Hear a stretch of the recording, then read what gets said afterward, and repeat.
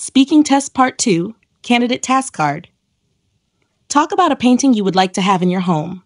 You should say, What is it? How you know about it? How much it would cost you? And explain why you want to have it in your home. Answer One painting I would love to have in my home is Starry Night by Vincent van Gogh. It's a renowned piece of art that depicts a swirling, vibrant night sky with stars, a crescent moon, and rolling hills.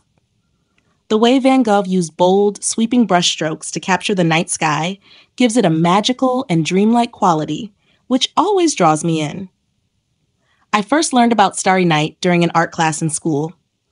My teacher explained the emotional context behind the painting, how Van Gogh created it while he was in a difficult mental state.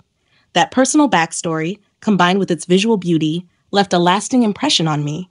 In terms of cost, owning the original is out of the question since it's one of the most famous and valuable paintings in the world, currently housed in the Museum of Modern Art in New York. However, a high quality reproduction could cost between a few hundred and a thousand dollars, depending on the craftsmanship and materials used.